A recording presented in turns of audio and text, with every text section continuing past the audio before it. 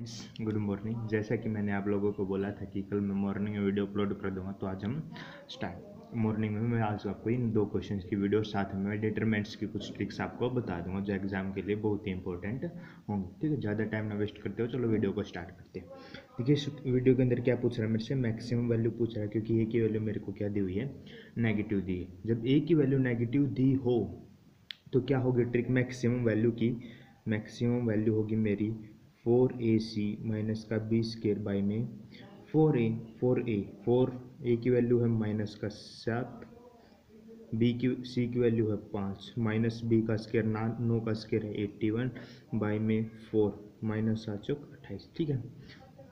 अब इसकी मल्टीप्लाई करोगे पाँचों का बीस, सात चौदह माइनस का एक सौ चालीस माइनस का इक्यासी बटे में अट्ठाईस, किसका? माइनस का, ठीक है? एक आठ चार बार दो, माइनस का दो सौ इक्कीस, माइनस का अट्ठाईस, माइनस से माइनस, कैंसिल तो दो सौ इक्कीस बटे में अट्ठाईस, क्या आ गई मेरी इसकी मैक्सिमम वैल्यू आ गई। देखो इस फॉर्मूले की उससे हम कितने इजी तरीके से इसकी maximum and minimum value find out कर सकते हैं, ठीक है? नेक्स्ट क्वेश्चन देखिए, कहता है कि find the minimum value of this इसकी मिनिमम वैल्यू मेरे से वो पूछ रहा है तो एक ए क्या मेरा? ए ग्रेटर देन ज़ीरो यानी कि पॉजिटिव वैल्यू दे रहा है मेरे को ए तो इसकी मिनिमम वैल्यू क्या मिलेगी मेरे को? फोर ए सी माइनस का बी स्केयर बाई में फोर ए सिंपल इसकी मैक्सिमम वैल्यू इनफाइनाइट है तो वो मेरे से कभी भी इसकी मैक्सिमम वैल्यू नहीं पूछेगा, ठीक है? तो इसकी मिनिमम वैल्यू होगी फोर ए सी माइनस का बी स्केयर फोर ए की वैल्यू है दो सी की वैल्यू है पाँच. माइनस बी का स्केयर हो जाएगा नाइन बाई में फोर एट हो जाएगा, ठीक है? पाँच का बीस दूनी चालीस माइनस का नौ बटे में आठ, क्या इतनी होगी? इकतीस बटे में आठ। ये मेरी सेकंड वैल्यू होगी, ये इसकी होगी मिनिमम वैल्यू ठीक है? चलो अब बढ़ते हैं अपने नेक्स्ट पार्ट की तरफ़। नेक्स्ट क्या कहता है कि मैट्रिसेस के बारे में बोल रहा है ये। इसकी कुछ ट्रिक्स हैं जहाँ से यहाँ से क्वेश्चन कहाँ से आ सकता है? या तो ए इनवर्स पूछ सकता है मेरे से, या पूछ सकता है डिटर्मिनेंट की वैल्यू ठीक है? डिटर्मिनेंट भी कौन से? वो वेरिएबल वाले डिटर्मिनेंट हमसे पूछ सकता है। जो डिटर्मिनेंट जिसके अंदर वेरिएबल जैसे A B C X Y Z इस तरह के कुछ वेरिएबल्स दो क्योंकि सिंपल नंबर के अगर डिटर्मिनेंट होंगे तो वो हम इजी से सोल्व कर सकते हैं। तो सबसे पहले मैं बताऊँगा आपको ए इनवर्स कैसे फाइंड आउट करते हैं। ए इनवर्स क्या होगा एडजॉइंट ए बाई में डिटर्मिनेंट ओके जैसे ये आपको दिखे, इसका सबसे पहले आप डिटर्मिनेंट निकालें क्योंकि अगर ये डिटर्मिनेंट ज़ीरो आ गया तो हमारा काम आधा तो यहीं पे ख़त्म हो जाता सब, सारा काम यहीं पे ख़त्म हो जाता है, क्योंकि ए डिटर्मिनेंट ज़ीरो होगा तो हमारा आगे वो क्या बोलते हैं? ए इनवर्स एग्जिस्ट ही नहीं करेगा, ठीक है? तो करो। सबसे पहले ज़ीरो ये लाइन छोड़ दो।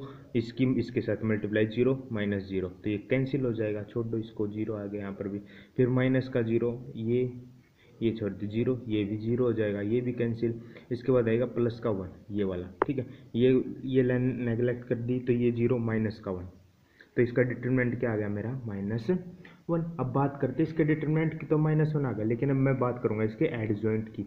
एडजॉइंट ए इसके अंदर प्रॉब्लम हो जाती है बच्चों को निकालने की। इसकी सिंपल ए ट्रिक है। उसकी सहायता से देखना आप कितने इजी तरीके से adjoint of A find out करते हो। जो मैट्रिक्स दिया हुआ मेरे को उसकी एज इट इज़ लिख दो। लिख दिया। ज़ीरो, एक ज़ीरो एक, ज़ीरो ज़ीरो। ठीक है। अब जो फ़र्स्ट टू रोज है ना कॉलम्स है ना, उनको रिपीट कर दो। Zero zero one zero one, zero. ठीक है, अब फ़र्स्ट टू रोज को रिपीट कर दो।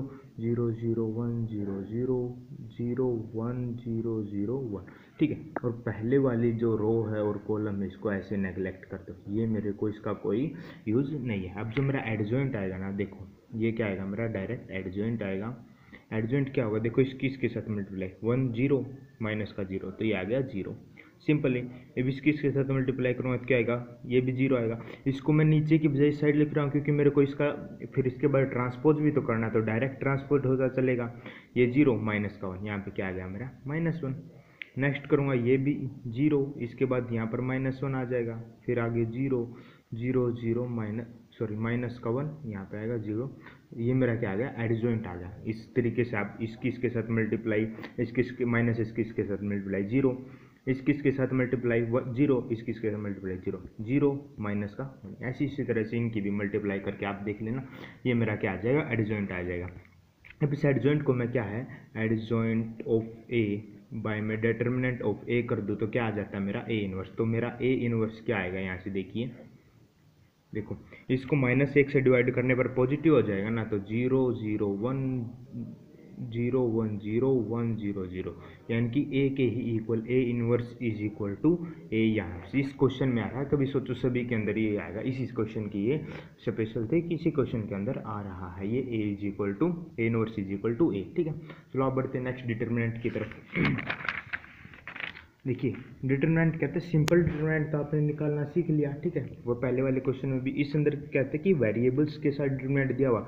तो कुछ नहीं करना, मेरे को A is equal to B is equal to C is equal to one put कर दीजिए, ठीक है? ए की वैल्यू ए बी सी की सभी की वैल्यू आप एक पुट कर देना। अगर इनके साथ कांस्टेंट होते तो हम इनकी वैल्यू ज़ीरो भी पुट कर सकते थे, लेकिन अगर यहाँ पर ज़ीरो पुट करूँगा तो ये डायरेक्ट ही ज़ीरो हो जाता है, ठीक है? इसलिए मैं यहाँ पर ज़ीरो नहीं पुट करूँगा, यहाँ पर मैं एक एक वैल्यू इनकी पुट करूँगा। देखो, एक वैल्यू पुट करने पर क्या मिल रहा है मेरे को? एक एक एक एक एक एक एक एक एक। इसका डिटर्मिनेंट हम सोल्व कर सकते हैं ना।